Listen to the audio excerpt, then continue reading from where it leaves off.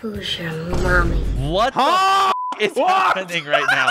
It, what the f- Why did she say that?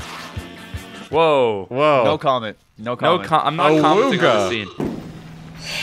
You're just so different than I expected. Can we talk about how he's openly like flirting like hard right in front of Daphne and Fred? Like they're right beside them. Seth Green has that beautiful confidence. That he has the that- that I confidence of a man who is not his height.